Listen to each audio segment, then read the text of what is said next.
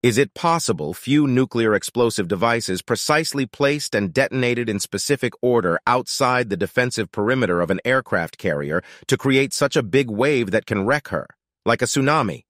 What do you think?